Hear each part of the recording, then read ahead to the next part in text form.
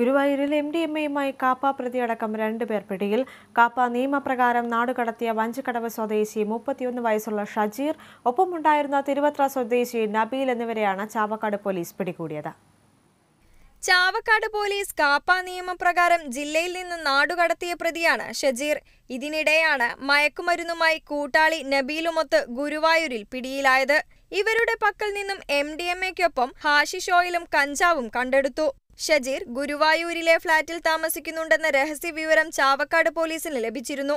ഇതോടെ ചാവക്കാട് ഇൻസ്പെക്ടർ വിപിൻ വേണുഗോപാലിന്റെ നേതൃത്വത്തിലുള്ള സംഘം ഫ്ളാറ്റിലെത്തിയപ്പോഴാണ് പ്രതികളുടെ കയ്യിൽ മയക്കുമരുന്ന് കണ്ടെത്തിയത്. ഇതോടെ വിവരം ഗുരുവായൂർ ടെമ്പിൾ പോലീസിനെ അറിയിക്കുകയായിരുന്നു. ടെമ്പിൾ സ്റ്റേഷൻ സബ് ഇൻസ്പെക്ടർ ബാലചന്ദ്രന്റെ നേതൃത്വത്തിൽ പോലീസ് സംഘം സ്ഥലത്തെത്തി പ്രതികളെ കസ്റ്റഡിയിലെടുത്തു.